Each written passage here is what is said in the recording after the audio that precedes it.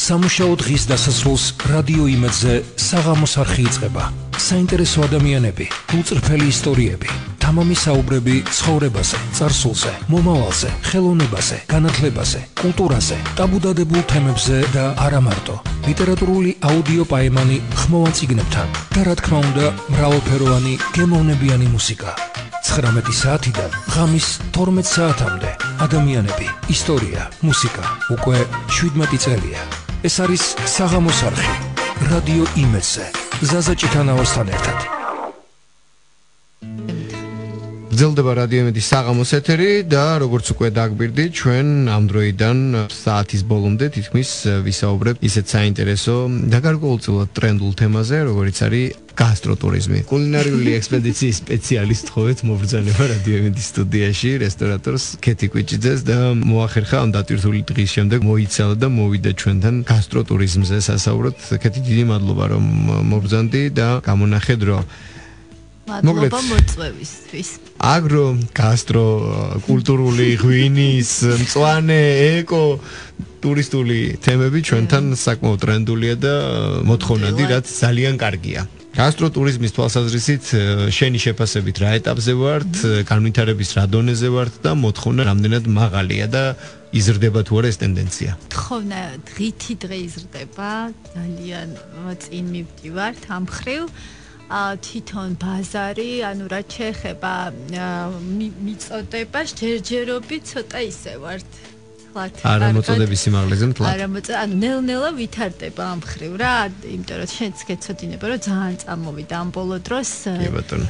თითქმის ყველა კულინარიულ ტურიზმში ითხოვენ ჩვენც ძალიან ბევრი ის გვაქვს უკვე შეკვეთები ასე ვთქვათ. და რა ვიცი, იმედი მაქვს რომ განვითარდება ნელ-ნელა.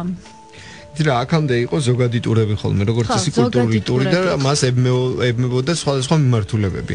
მაგრამ კარგია რომ კონკრეტული მიმართულებები ღვინის ტური და სხვა ტიპის სპეციფიური ტურები? ხო აი რაც შეეხება ხო კულინარიულ ტურიზმში არ იყო კონკრეტული მიმართულებები აქამდე და ნელ-ნელა დაიწყო აი კონკრეტულად უკვე ამ ხრივ როგორც ღვინის ტურიზმია აი ესევე გასტროტურიზმი ჩვენთან თორე ისე მთელ მსოფლიოში ძალიან ტრენდულია და საქართველოს აი ამ ხრივ აი იქნება არ ვიცი აი ძალიან დიდი პოტენციალი აქვს. შეიძლება ძალიან ვინც საქმე შეხედული არ არ არის მისთვის ეს ფრაზა დიდი პოტენციალი გვაქვს შესაძლებლობა გვაქვს ცოტა ისე ტრაფარეტული გამოდის. ტრაფარეტ ხო მაგალ მაგრამ აი ღვინის შემთხვევაში იმდენად უნიკალური შესაძლებლობა გვაქვს რომ ყველა რეგიონში გვაქვს ღვინო. გასაგებია რომ კახეთი არის ამ ხრივ მექა ყველა გაგებით მაგრამ ყველა რეგიონში გვაქვს ჩვენ ჩვენი ღვინო და ეს კიდე უფრო დამატებითი მიმზიდველობაა და დამატებითი ხიბლია და იგივე შებილია ხო თქვა მე კულინარიულ ტურიზმზეც რაც კულინარიაზე ზოგადად საქართველოში ყველა ის რეგიონი რომელსაც აქვს თავისი ღვინო ყველას აქვს თავისი სამზარეულო და ამ ამ ხელა მრავალფეროვნება. არ ვიცი ხა სოფლიოში ალბათ რომელ ქვეყანას შეიძლება კონდეს. აი ყველა კუთხეს აქვს თავისი გემო რასაც ქვია გემო. თავისი აქცენტები აქვს. თავისი აქცენტები აქვს. აი აი გვერდი გვერდარი ხო თქვათ ეხა რაჭა და იმერეთი რა დიდი სიშორეა ხო მაგრამ რა ხელსაუბრა რაღაცებში იმ ხელსაუბრებია რომ აი არ ვიცი. და ყველაზე საინტერესოა ის რაიონები რომლებიც საზღვრის პირას არიან მაგალითად აი იმერეთსა და სამეგრელოს შორის ან რაჭასა და ლეჩხუმს და იმერეთ შორის და აი იქ აი ეს გარდამავალი მდგომარეობა იქაც იგრძნობა თუ დააკვირდები რაღაც რაღაც თვალით. და აი თქვათ იგივე სამცხე ჯავახეთი ავიღოთ სომხეთის საზღვარია ხო? იქ უკვე აი რაღაც ერთნაირის გავლენებია. რა თქმა უნდა რეგიონია ერთი და? ერთი რეგიონია. აი ძალიან საინტერესო ამხრივად რაც კეთი იმისთვის რომ მეტად მეტი განმარტება გავაკეთოთ რადიოსმენელისთვის მოკლედ როდესაც კულტურული ტური ტარდება მაგალითად ხო სწორი არის ჩემი აზრით მე ასე ვუყურებ, როდესაც ჩამოდის ტურისტი ამ თემაზე ესმაკონჯულიას გადაცემაში დაახლოებით 3 დღის წინ თუ არ ვწდები თუ 2 დღის წინ იყო საუბარი და განვავრცობ ამ თემასაც, იმიტომ რომ იდენტურია გარკვეული თვალსაზრისით, როდესაც სტუმრები ჩამოდიან და ვიცით რომ ისინი მიდიან მაგალითად აჭარაში აი ამ ადრიანი ტურის განმავლობაში ყაზბეგში მიდიან და სამეგრელოში ხო სიტყვაზე ვთქვათ მათ არ უნდა მიირთვან თბილისში არც აჭარული ხაჭაპური ან არც აჭარული კერძები არც ხინკალი ყაზბეგში თუ მიდიან და არც ვთქვათ ელარჯი თბილისში არ უნდა გასინჯონ წესით ხო? ხო, და მაგრამ ეხლა ფლატ ესე რომ არ გასინჯო. როდესაც 10 დღიანი ტურია, რო თხოვა ეს კონკრეტული კერძები, მათ ისინი თავისუფლად რო რო აუხსნი, რატო ისინი თავისუფლად მოყვებიან და გეთახმებიან და ხინკალს ახლა კარგად აკეთებენ თუ ცუდად აკეთებენ ეს კიდე მეორე მომენტია, მაგრამ ასე თუ ისე ყაზბეგისკენ მიმოვალ გზაზე ფასანაური მაინც ინარჩუნებს ამ მდგომარეობას. ნუ შავი ცოტა ისეთია, იმ ნაკადით არ დადის ტურისტული. ხო, იმ ნაკადით არ დადის, მაგრამ აი შემადგენლობა როგორც აქეთ. შავი ხინკლის ხრევა ის ძალიან დიახ, ნუ ყოველ შემთხვევაში ხინკალს იქ რო დააგემოვნებენ, აღქმა ცხვა აქვს იმ ხეობაში, იმ სივრცეში, იმ გარემოში, იმ ბუნებაში და იმ კლიმატში. თან ან გემოებიც, აი ახლა მოუყვები თქვა ჩემი ექსპედიციის მიზან, აი რატომ დავიწყე რა ზოგადად რა ერთი 2 წელზე მეტია უკვე. ფაქტობრივად ჩვენ ამ თემაზე ტელეგადაცემა ქონდა ტელეიმედში. მე ვიყავი და ანუ როგორ დავიწყე რა? მქონდა ჩემი ბარი რაღაც კაფეები ეს ამ თემაში ვიყავი ზოგადად და აა ვხედავ რომ ანუ საქართველოში ქართულ რესტორნებში ფაქტობრივად არ ვითარდება და დგას რაღაცა ხინკლის და ქაბაბის დონეზე ვარ თორსა ყველას გვახსოვს ბებია ჩვენის ოჯახის კერძები ბებიები სოფელში ასე შემდეგ და ესენი ხო გვახსენებაში და ეს გემოები ოჯახური თუნდაც. აი ეს არა ყველაფერი იკარგება ხედავ აღარ და გადავწყვიტე რომ დამეწყო ამის შეგროვება. და რა ჩანაწერის გაკეთება და თან დაგემოვნება. დავიწყე ეს მოგზაურობა ჩანაწერები გავაკეთე ის კერძები რაღაც სხვადასხვა ციგნებიდანაც ვიძიებდი, რაც თუ ვინმე საუხწერია საერთოდ საქართველოსზე იქ თედო სახოკია მოგზაურები. კი ბატონო, თედო სახოკიას ციგნები ამ ხრივ ძალიან საინტერესოა და მრავლის მომცემი. კი ბატონო, ნუ ივანე ჯავახიშვილი ხო საერთოდ ეს ფენომენალური. დია. მინდო თქვა და აი ამ ეს ამას ვკითხულობდი, მე რო ჩავდიოდი უკვე სოფლებში, ხო? იქ ვიღაცებს აღარც ახსოვდა და მე ხეს ამოკითხული ხო მაქვს და ვეკითხებოდი აი ეს კერძი გახსოვთ? ну ზოგის საერთოდ ვერ იხსენებდა და ესე გამოკითხვას ვატარებდი და მე ნუ მიყვებოდნენ ან აი მე საერთოდ ბებია ჩემი ეკეთებდა და აღარც კი მახსოვს და გავაკეთო მე გამიკეთებდი ეგ მინდა მე ყოფილა მომენტი რომ ხევსურეთში მყავდა წავედით რაღაც სტუმრები მყავდა ტურისტები წაყვანილი და ჩავდივარ ესე და აქედან ტელეფონით რომ ველაპარაკე ვესაუბრე მუთხარი რომ ესე ესე მინდა ხევსურული კერძები და რომ ჩავედით რაღაც ცოტა დაეზარა ეთყობა რა იმ ოჯახსა აცა მე მე ეს სტაფილოს სალათი მაქო და სუპიო. მე ვთხარ რას ლაპარაკობ? ხა ამ ხელა გზაზე კულინარიას ვეძებ ხალი რათმი და ჟენი იყო სტაფილოს სალათი გამიკეთე ხევსურული აი ბებია რო გიკეთებდა და რო თვლი რო აღარ არის ეს კარგი თან ტუმრიზმში იყო ეს ხალბატონი ჩართული. ხო და ვეკრევე რაღაც ის კუსერბო გააკეთა, ხავიცი და ვერ ხვდებოდა რომ ეს კარგია რა. ეს მისთვის ყოველდღიურია და მისთვის იყო ეს ყოველდღიურობა და ჩვენთვის ეს იყო ეგზოტიკა, რაღაცები გაიხსენა მე ხურხუნჭელა ბავშვობაში რომ ჭამდით რაღაცა და ჩვენთვის აღმოჩენა იყო და ჩვენთვის ზოგადად. ხო და აი ესეთი ისინი მქონდა რა მომენტები. ეხლა ძალიან მიხარია რომ ბევრი რესტორანმა უკვე დაიწყო და შეფმა ამის მოეკვლევა და ბევრი რესტორანი ჩაერთო უკვე ამ იმაში და მიხარია რომ რაღაც პატარა ნაპერწკალი ალბათ მე შევიტანე ძალიან რა ვიცი ესე გავკადნიერდები და ვიტყვი მაგრამ ნუ მგონია რომ მაინც თუნდაც იმედი დამეხმარა ძალიან რომ ეს რუბრიკა გაკეთდა და ასე პოპულარიზაცია მოხდა პოპულარიზაცია მოხდა თემის, რა ვიცი, ესე ვფიქრობ, რომ იმიტომ რომ რაღაცნაირად ან წამოვიდა, ბევრი შეფები არიან, რომ მეკითხებიან თქვათ რაღაცებს, კერძების შესახებ, რომ იქნება ეს რაღაცა და მე თვითონაც ვცდილობ ხოლმე ამ ბოლო დროს რა ვიცი, ზოგ ზოგ საკრიტიკულათაც ვდგები, რომ არ მინდა რომ ეს ქართული იდენტობაც დაიკარგოს. რა თქმა უნდა, განვითარება ძალიან კარგია. მაგრამ აი ის შენი გემო არ უნდა დაკარგო რა ესე ვფიქრობ ის ქართული პროდუქტი, ეხა ავოკადო ძალიან კარგი პროდუქტია შეიძლება, მაგრამ ეხა ქართულთან უკვე აღარ იქნება ის ჩვენი ვერაფრით ვერ გააკვირვებ. ჩვენი ბუნებრივი გენეტიკურ ბიოლოგიური კოდი ის არ არის. თან როგორ შეიძლება გააკვირო შენ იმით ავოკადოთი ვიღაც უცხოელი რომელიც აქ ჩამოდის სხვა სხვა სხვა ეგზოტიკის საფუძვლად. ყავს ფრანგი კულინარი ყავს სტუმრად. და ეს მე ის მეუნება რომ აღარ შემილიაო. რა უქნეს ფრანგულ სამზარეულოსო? გააფუჭესო ყველაფერიო. მოკლედ ძალიან წუხს როგორც ხო.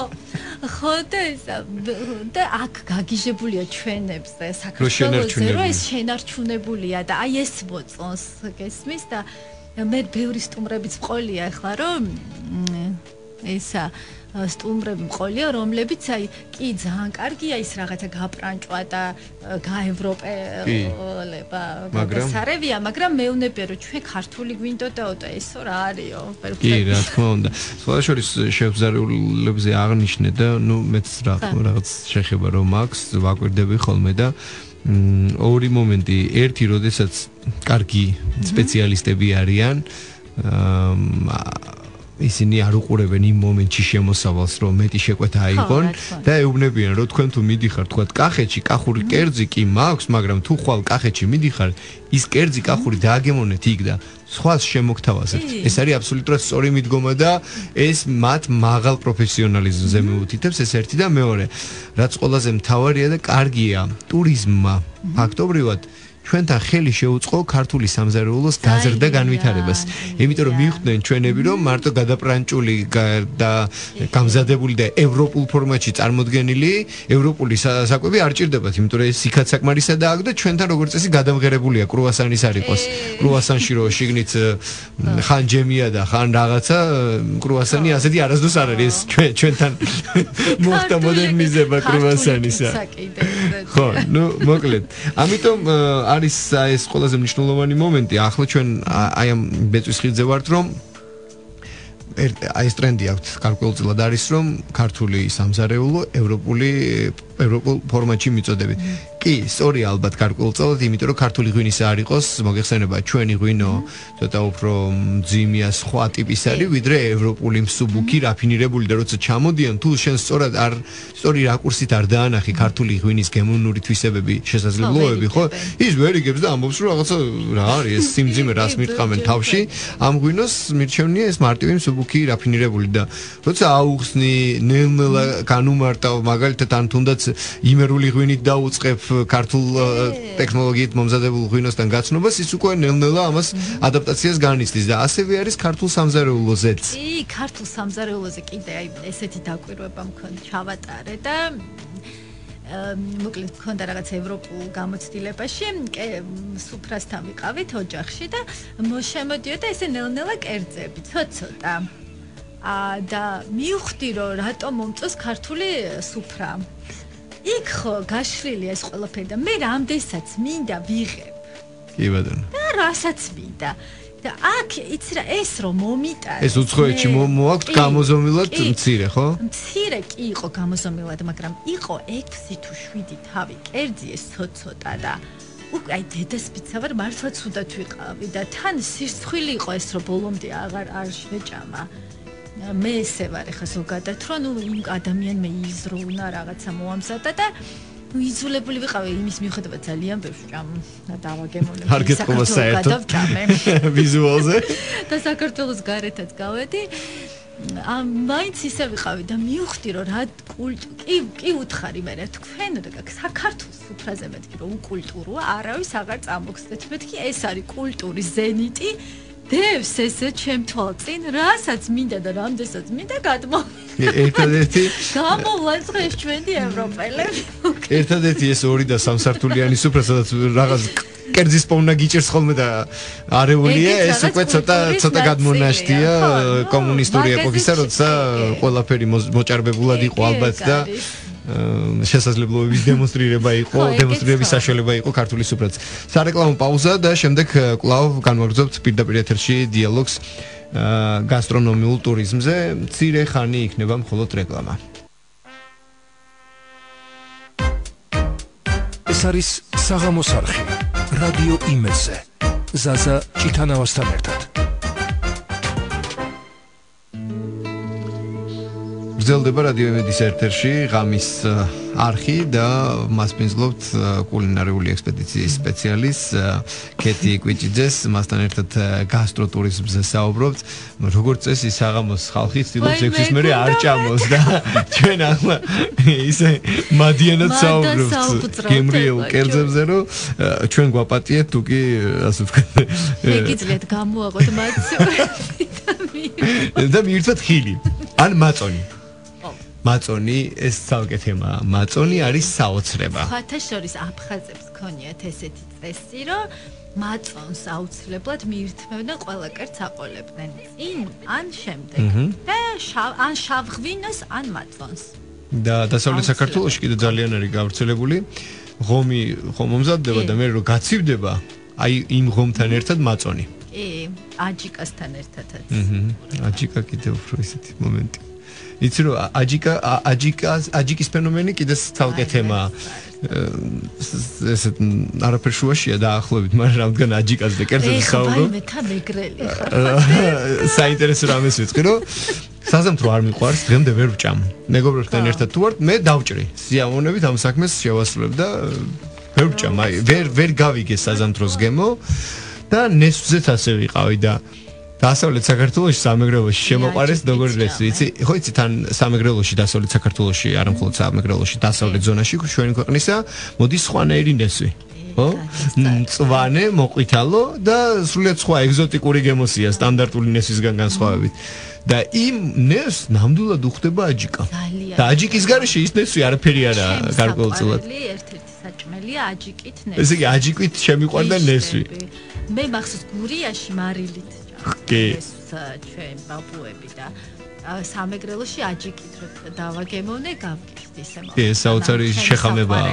ძალიან კარგი შეხამებაა. კი. თან ეგეც ხოთა შორის იტალიელებს აქვთ პროშუტოთი ირთმევენ. ნეს თავისი ლორთან ერთად და ანუ რაღაცა ის არის ევროპელები მართლა აღარ უნდა ამას ის განხილვა ხო? კი ბატონო. სამეგრელო. ბევრი ფაქტი მეტყოლებს ამაზე.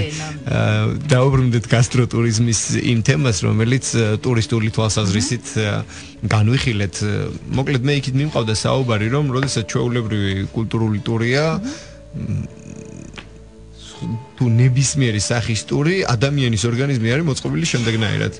უნდა რომ იხილოს რაღაცა, მიიღოს კულტურული თუ მორალური ფასეულობებით ასე ვთქვათ დაიმუხტოს, გაეცნოს სიახლეებს უცხო ქვეყანაში, შემდეგ მისი ფიზიკური მოთხოვნილება არის რომ კვებითი მოთხოვნილებები დაიკმაყოფილოს თუ ეს მაღალ დონეზე სრულდება ხო საერთოდ გადასარევია ორ მაგათ კმაყოფილია შემდეგ უნდა წავიდეს დაიძინოს. ეს არის სამი ძირითადი კომპონენტი ტურიზმის. თან აი მე ვთვლი რომ კულინარია არის კულტურის განუ ერთ-ერთი განყოფილი ნაწილი ეს არის კულტურა აი მეტყველებს ქვეყნის კულტურულ განვითარებაზე.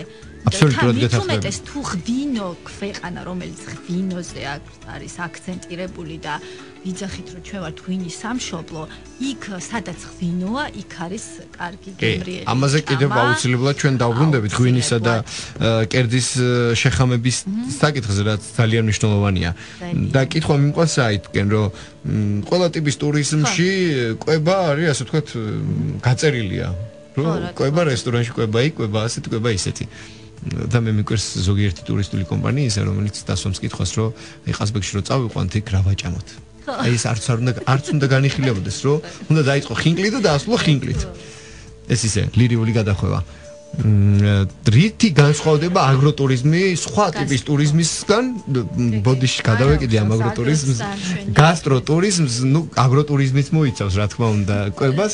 რითი განსხვავდება გასტროტურიზმი სხვა ტიპის ტურისტული მარშრუტებისგან და პროექტებისგან, რომელშიც კვება ისედაც არის გათვალისწინებული და რა თქმა უნდა, ამაზე გაკაგებული, როცა რეგიონში ჩადიხარ, იმ რეგიონის კერძ შესთავაზე. ანუ ფაქტობრივად ახლოს მიკროფონთან მოდიში. ფაქტობრივად, ანუ გასტროტურიზმზე უბრალოდ უფრო მეტი აქცენტი კეთდება კულინარიაზე და ვთქვათ თუ ნუ აი რა ვთქვათ ახლა საწავიდეთ აი თქვა წავედით მესხეთში, ხო? თუ თქვა ისე თუ მივდივართ ტურისტულად მესხეთში, უფრო მეტად ვუთმობთ რომ ნახოთ ძეგლები. გასტროტურიზმის შემთხვევაში პირველ რიგში გვაქვს იგივე ტენილი ყველის მომზადების პროცესის ნახვა, იქაური სხვადასხვა კერძების დაგემოვნება. ანუ დეტალიზება ხდება მასტერკლასების, ხო? მასტერკლასების მხრივ დაგემოვნების მხრივ ხდება. უფრო მეტად აქცენტირება, ვთქვათ, ავთენტურობის მიხედვით იგივე აი იქაური კერძები. ეხა ისე რომ იყოს ეხა ტურში, ხო? ვთქვათ, რაღაც ძეგლებს დავათვალიერებ და მივირთმევთ, ხო? საჭმელს. და აქ აი მე პირადად ესე ვაკეთებ, რომ აი იმიტომაც გამოვიკლი, ასე ვთქვათ და მოვიარე და თითოეული კერძი შევისწავლე, რაც რაც შევწელდა კიდევ სწავლობ, იმიტომ რომ ულევი მასალა, რომ აი ბედი ფართო არჩევანი შევთავაზო ამ ხალხს. ანუ ეს იყო ჩემი მიზანი, ვთქვათ და ყოველასთვის ეს უნდა იყოს, რომ აი დიდი არჩევანი შემიძლია რომ შევთავაზო იგივე მესხეთში. თუ აჭარაში სწავლობ თუ სამეგრელოში. ხა სამეგრელო ისედაც გემრიელესი არის ძალიან მიყვარს ზოგადად აი გემოვნური თვისებებით იმერეთიც. ასე ნუ ყახე აი ყველა რეგიონზე გიშდები ახ რაჭა აი ყველას აქვს თავისი ხიბლი და ვარ რაჭა ხო აი უბრალო ის არის. ლობიო ლორი მაგრამ აი ისეთი გემრიელია სულ მინდება მე პირადად რომ იქ წავიდე და შევჭამ ხო და აი ასე არა უფრო დიდ მეტი აქცენტირება ხდება იმაზე რა ანუ ძირითადად ყვება და საცხვათაშორისო საცხვათაშორისო კულტურული ობიექტები და სხვა თემები. ხო, კულტურას იმიტომ რომ ამის garaში ახლა ვერ ვერ ჩავივლით. კი ბატონო. თუ თუ ანუ სხვა ტურისტული მარშრუტის შემთხვევაში მიდიან ნახულობენ ობიექტს და ამასობაში იმ კვების ობიექტში წინასწარ ეუბნებიან რომ ამ დროს მოვალ და გაგვიზადეთ ყველაფერი და მიდიან ზამზარეულზე და უბრალოდ მიირთმევენ გასტროტურიზმის შემთხვევაში ხდება სხვანაირად რომ მიდიან თვითონ ღებულობენ ამ პროცესში მონაწილეობას. თავიდან ბოლომდე. რეცეპტ ამას ჩანაწერებს ისინი საკეთებებს შეაინტერესებს რომ და ეს მასტერკლასებში მასტერ ეხა პრინციპში მასტერკლასებს უკვე ჩვეულებრივი ტურისტულებიც საკეთებენ. და ეს ძალიან ცოტა არის ზოგჯერ ცოტა ისე ესეც გაუფასურდა გარკვეულწილად. და ნუ აი ჩვენ შემთხვევაში აი დაგემოვნებას, აი მრავალფეროვნებას თავაზობთ კულინარიაში, რაც შეეხება და აი ბევრ სხვადასხვა კულტურებს. კი ბატონო. და ეხლა რა ძალიან მინდა დაუბრუნდეთ იმ თემას, რომელიც ეხება ღვინოს და საკვებს.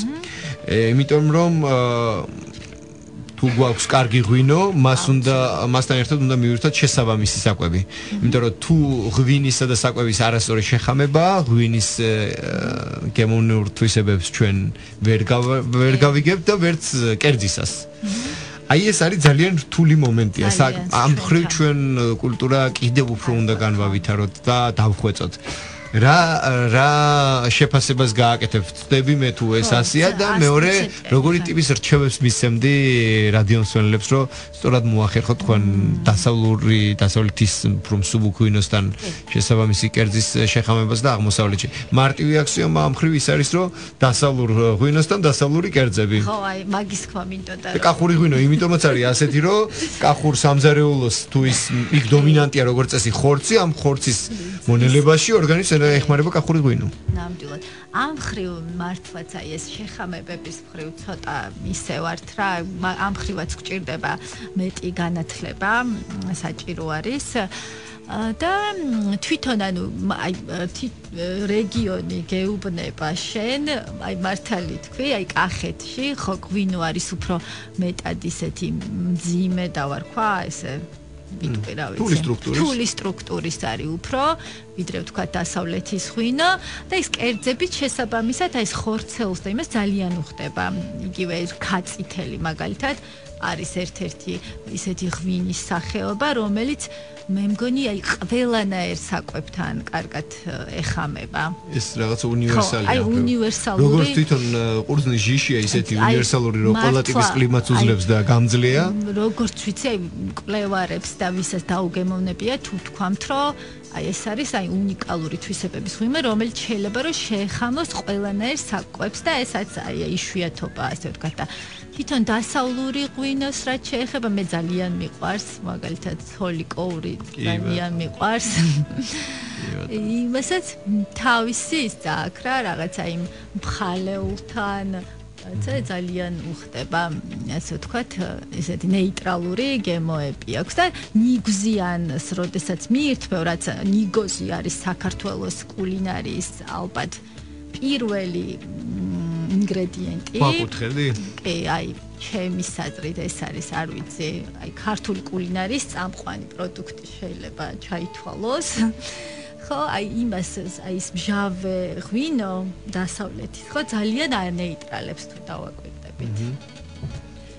აა იმ თვალსაზრისით რომ ჩვენთან კიდევ უფრო განვითარდეს ეს ყველაფერი და უფრო მაღალ დონეზე იყოს მე დიდი იმედი მაქვს რომ ჩვენ მასობრივი ტურიზმიდან ნელ-ნელა გადავალთ ცოტა მაღალი დონის ტურიზმზე სადაც წლის განმავლობაში ჩვენ შარშან საკმაოდ დიდი მაჩვენებელი გქონდა და წელს ტურისტების რაოდენობით ამას იმ შარშანდელ მაჩვენებელს ბევრად ვასწრებთ მაგრამ და ძალიან კარგია თუმცა მე ვისურვებდი წელიწადში 8 და 9 მილიონი ტურისტი თუ ვღებულობთ მივიღოთ სიტყვაზე თქვა 4 ან 3 და ისინი დახარჯავენ იმდენს რამდენსაც ხარჯავს 8 უფრო დაი პირობითად ვამბობ დაი ბევრად უფრო დაიზოგება ჩვენი კულტურული ობიექტები და რაოდენობა ადამიანებისა, რომლებმაც მათ სერვისი უნდა შესთავაზოთ, რა თქმა უნდა, იქნება ნაკლები და დარჩებიან ის ნაკლებნი, რომლებიც მაღალი დონისანი არიან და ამ ყოლაფრით ჩვენთან ეს დონე ამაღლდება. მე ვისურვებდი აი ესეთ განვითარებას ტურისტული სცენარისა ქვეყანაში და ამ მიმართულებით